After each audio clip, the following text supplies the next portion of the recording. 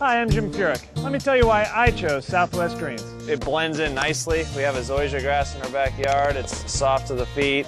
It has a, a, nice color green to it and looking from the house out to the putting green, there's not a big difference. It looks a little bit more manicured because the, the turf is shorter, but a Southwest green is a natural looking green. Join me and over 30 touring professionals who chose Southwest Greens.